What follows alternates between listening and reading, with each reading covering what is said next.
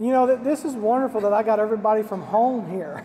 uh, but this next bill that we're getting ready to do, it's the Frankie Huffman Act. When I first got elected in 2017, Frankie was one of the first people to come and meet with me in my office to advocate for adults with special needs. He brought this, uh, this idea to me, and we've worked on it for three or four years now.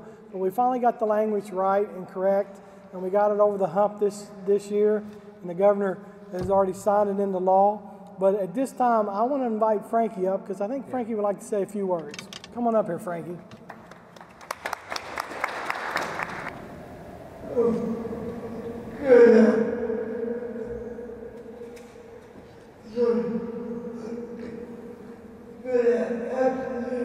Good afternoon.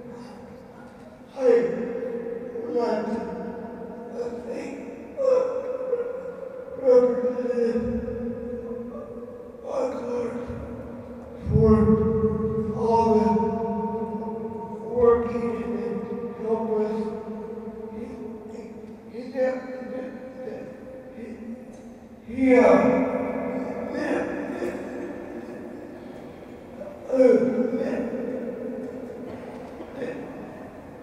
so he, he never gave up on it.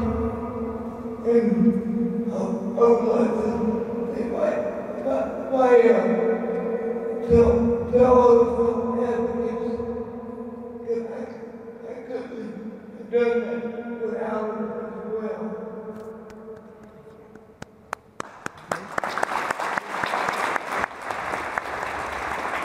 I've been proud um, that we've had numerous grants uh, where we've been able to make uh, more, more parks uh, and other opportunities more accessible with the idea that every single part of our society uh, should have a place for absolutely everyone.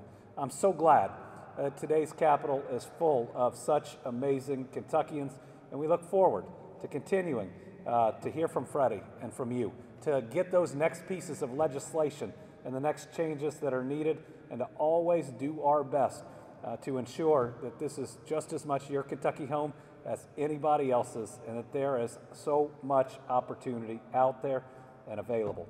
So, with that, let's sign into law. Let's make it official.